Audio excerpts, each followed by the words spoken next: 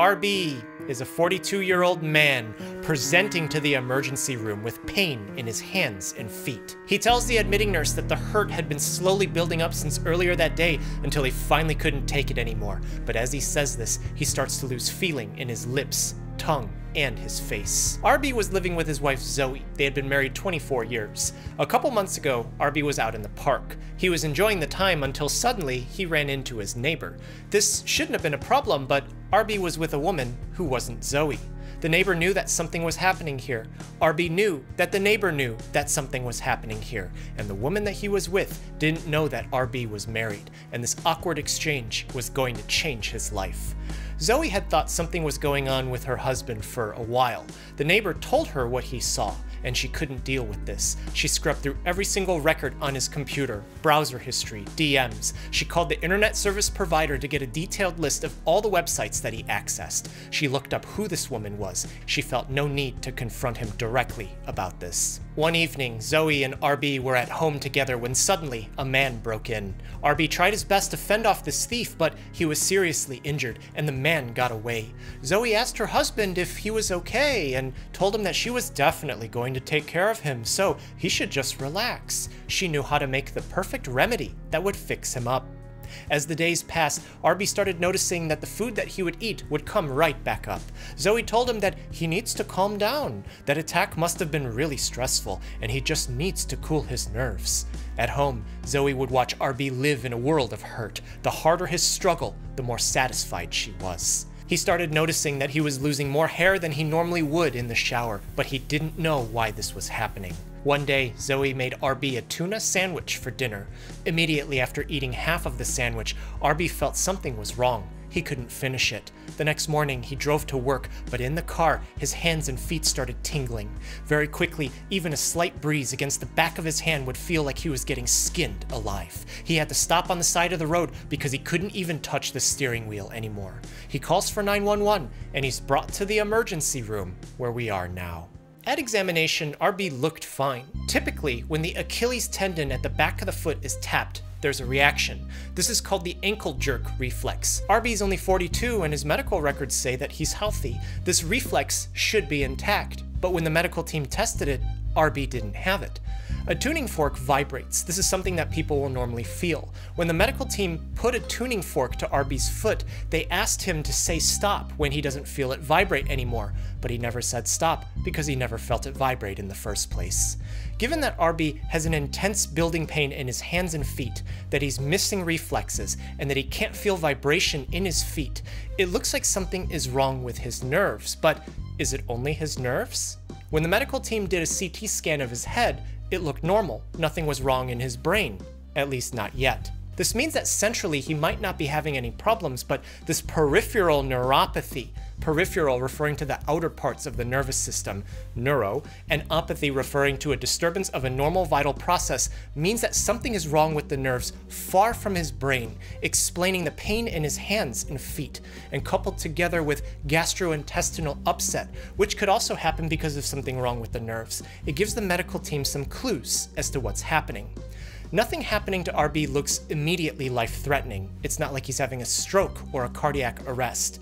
Neuropathy could have been developing over weeks to months, maybe because of nutritional deficiencies, or maybe infection. Not having a reflex in the ankle isn't something that people are going to check for every day, but as minutes become hours in the hospital, he starts telling the nurse that the pain was spreading to his arms and legs, and slowly he starts to become somnolent. When nurses try to talk to him, he slurs his speech, his eyelids to droop, and it gets harder to get a response from him.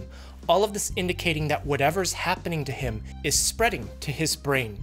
This sudden and quick decline in his condition suggests that something is not only inside his body causing this, but that something may have been put there intentionally, maybe against his knowledge.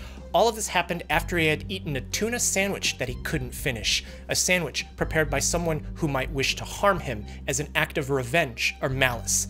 Put together, this indicates that he might have been poisoned. Zoe had had a background in making and selling cosmetics.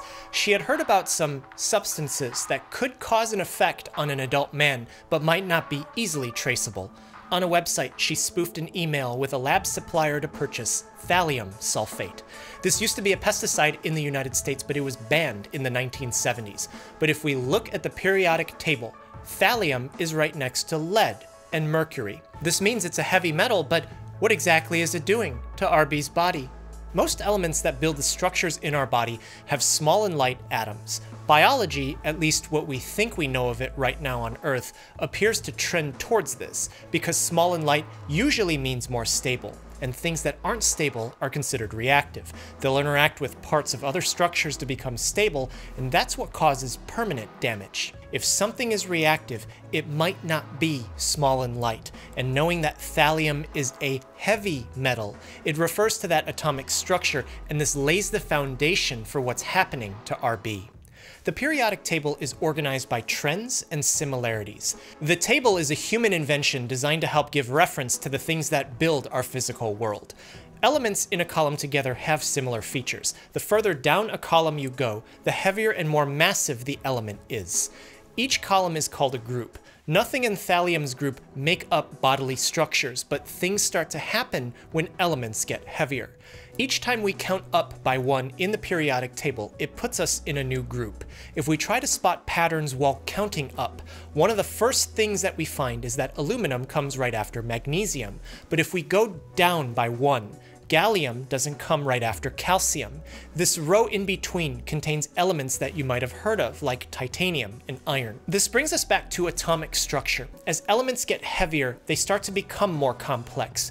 When we count up by one along a row, that number is how many protons or positively charged particles the element's atom has. Pure elemental forms don't have an electrical charge, meaning for every proton, there is one negatively charged electron. This row between calcium and gallium indicates that there's additional complexity in these elements' atoms that doesn't exist between aluminum and magnesium. Specifically, it's where additional electrons can be found in their higher energy levels. But as we keep counting up towards thallium, we get another break in the pattern right here, because atoms get even more complex when there's more energy to account for. If you remember from your chemistry classes, the scientific words used to describe these periods is the creation of the d and f orbitals. Given its place in the periodic table, it tells us that thallium is most stable with a plus one charge, something called a monovalent cation mono meaning one, valent from valence, which is from Latin referring to capacity, in this case, electron capacity, and cation referring to the positive charge. So thallus ion is missing an electron. It has one more proton than it has electrons. We've already established that the body likes to deal with and is made of smaller and lighter elements. So what other common elements are monovalent cations in humans? Going back to the periodic table, in group 1, we have hydrogen, which functionally is acid. Lithium is only available in trace amounts in humans, so it's not that common, and then sodium and potassium. Looking at the size of these three ions, we notice that thallium is more similar to potassium than it is to sodium. If thallium is heavier and more reactive than potassium, but the body's machinery can't tell the difference between the two, what happens when a massive amount of thallium is ingested? On the surface of cells are numerous sodium-potassium pumps. These structures pump sodium out of a cell and potassium in. If thallium is present, it gets pumped in instead of potassium, causing intracellular accumulation. But if enough thallium is present, these pumps stop working altogether. This explains what was happening to RB's nerves. Electrochemical currents send signals from the nerves to the brain and vice versa. Without these pumps, the difference in positive and negative charges inside and outside nerve cells can't be replaced. This starts in the periphery before making its way to larger nerves in the body. These pumps also need energy to function, but that's not working anymore either. Energy production begins with the breaking down of sugar. This is called glycolysis, glyco referring to glucose, and lysis referring to a breaking down of. The final product is a chemical called pyruvate, and the part of the body's machinery that performs this conversion is something called pyruvate kinase. In order to function, pyruvate kinase requires potassium. But in RB cells, his sodium potassium pumps have been pumping in thallium. Pyruvate kinase can't tell the difference. Now glycolysis is shut down. Pyruvate is needed to enter the citric acid cycle, where electrons are shuffled among several chemicals in order to produce a proton gradient that ends with ATP production adenosine triphosphate, the body's energy currency. Inside the cycle, succinate dehydrogenase needs potassium to reduce flavin adenine dinucleotide, but RB's body can't tell the difference between potassium and thallium. Now the cycle is shut down, and without this reduced product, energy production stops happening. The nerves and the muscles are closely interlinked. They're highly energy dependent and they're supposed to have large amounts of potassium inside their cells. But for RB, they don't have energy anymore and they can't send the right electrochemical signals because his body's machinery has mistaken thallium for potassium and normal function can't happen anymore. This still isn't his only problem. Old alchemists knew that mercury interacts with sulfur containing substances, particularly of the structure that we call today the thiol, which is why sometimes you'll find that they're called mercaptans, from Latin mercurium captans, meaning capturing mercury. In more modern times, we found that not just mercury, but heavy metals like to interact with sulfur. The liver produces a molecule called glutathione, which is an antioxidant that protects the body from chemicals. Glutathione contains sulfur, if RB's body has too much thallium and thallium binds to sulfur, then this protective mechanism is consumed and can no longer function. There's 20 distinct amino acids that when chained together make up all the proteins in our body. Two of these 20 contain sulfur. Keratin, which is the protein that makes up hair, skin, and nails, contains a lot of sulfur, and given that Zoe appeared to be feeding her husband thallium for weeks before he presented to the emergency room, it should make sense why RB started losing a lot of his hair. But is there any way to remove the thallium from RB's body? Maybe, but the problem is the medical team still only suspects that this is what happened. Zoe will never admit this, and RB is so incapacitated that he can't even talk anymore. The hospital lab doesn't have any tests that can find specifically thallium. Presuming this diagnosis, there's something that they could give him. Prussian blue is an artificially synthesized pigment made of iron and cyanide. Its molecules arrange into a crystal structure that's known to bind ionic potassium if thallium can be substituted in place of potassium, and thallium often has greater affinity for these substrates than potassium, Prussian blue should be able to trap and contain the thallium in RB's blood, but this assumes that it can also absorb into his organs and then get into the cells of those organs to suck out the remaining thallium, and we don't know if Prussian blue actually does that. RB is sent in for dialysis where he's connected to a machine and his blood is sent there so that toxins can be filtered out for him. But that also doesn't mean that the thallium already in his organs will get cleared out. The heart is a muscle that's connected to the brain through the nerves. As thallium kept absorbing into RB's body, energy production was shut down at several stages of the process. Nerve impulses couldn't be sent, and enzymes were deformed mostly through their sulfur-containing residues, all because of the heavy metal toxicity. When he presented to the emergency room, his symptoms weren't life-threatening. But suddenly, RB's heart stops beating. The hospital calls a code. All available medical staff converge to his room to try to give CPR and give immediate acting medicines to try and resuscitate him. Zoe believed that thallium was something that couldn't be traced, but she was wrong because the medical team had collected RB's urine and sent it out for a test, and it came back positive for thallium. They had suspected it in the first place because of painful ascending neuropathy with alopecia, hair loss that quickly starts to cause central nervous system impairment, and all of these together are very specific findings when found at the same time suggest thallium. The final words that RB uttered to his sister before he became unconscious were, She found out, she poisoned me, and now I'm going to die. And RB never regained consciousness again.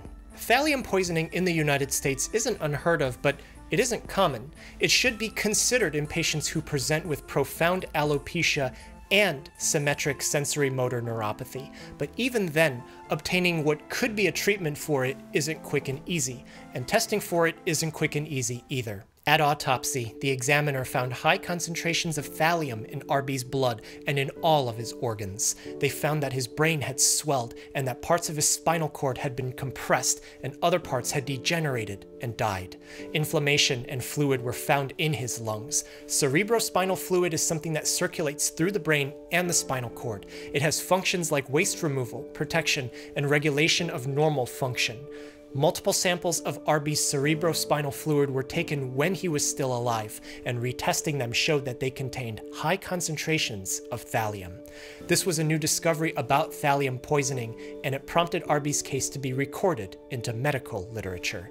But knowing that it's impossible to easily come across thallium pesticides today, in the United States, this suspected poisoning indicated malice on behalf of another person. The medical team had alerted authorities about Zoe when Arby was admitted into the hospital, and in a court of law, years later, she pled guilty and was convicted. Thanks so much for watching. Take care of yourself and be well.